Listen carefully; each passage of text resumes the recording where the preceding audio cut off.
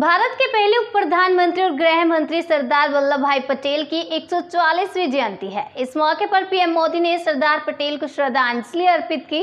इस दौरान पीएम मोदी ने केवड़िया में जनता को संबोधित करते हुए कहा कि कुछ बात है कि हस्ती मिटती नहीं हमारी।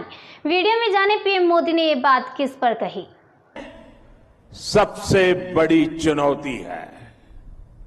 मैं आज राष्ट्रीय एकता दिवस पर प्रत्येक देशवासी को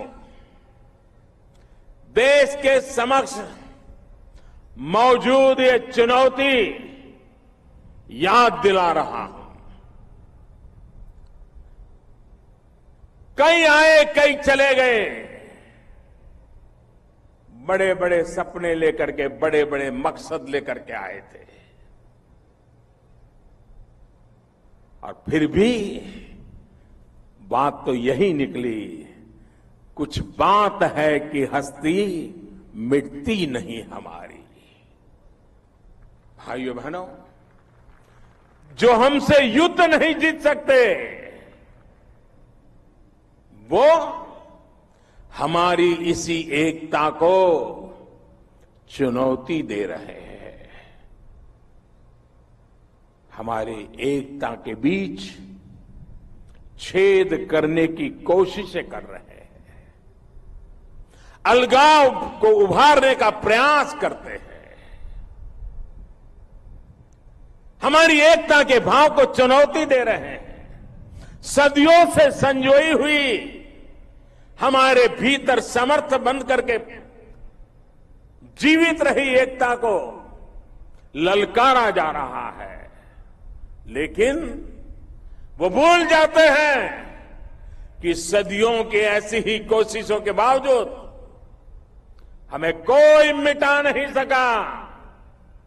हमारी एकता को कोई परास्त नहीं कर सका।